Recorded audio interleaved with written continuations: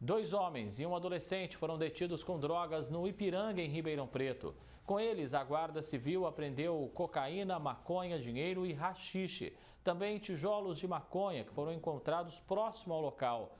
Tudo foi levado para a delegacia.